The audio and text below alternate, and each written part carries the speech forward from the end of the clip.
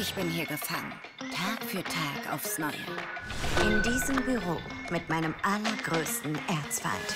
Es gab vier Beschwerden diese Woche. Vier. Das hier ist ein Punkt. Und wenn man einen Punkt Nehmen in einen Sie Satz... dieses Donutloch aus meinem Gesicht oder ich schütze Sie! Ihr zwei seid das Schlimmste an meinem Job.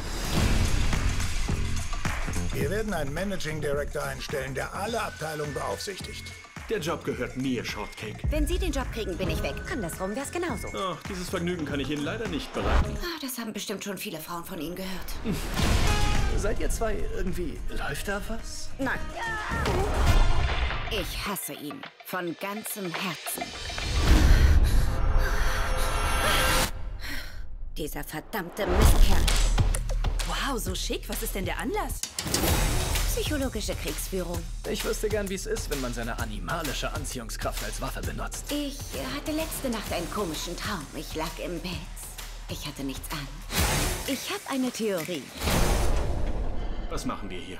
Dieses Spiel, das wir jeden Tag spielen. Jemanden zu hassen ist ein verstörend ähnliches Gefühl, wie sich in jemanden zu verlieben.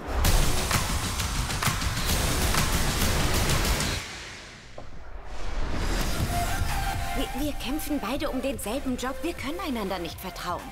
Ich mein's ernst. Das schwöre ich dir. Ich habe doch gesagt, sie macht einen Rückzieher, sobald sie meint, sie hätte sie an der Leine. Ich brauche keine Hilfe, um sie zu schlagen. Du würdest alles tun, nur um zu gewinnen. Was immer das ist, ich habe keine Lust mehr drauf.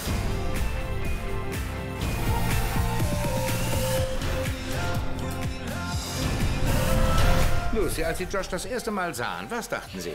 Er wirkte kalt und unglaublich verklemmt. Ich dachte, was ist das nur für eine Arschkriecherin? Es war Hass auf den ersten Blick.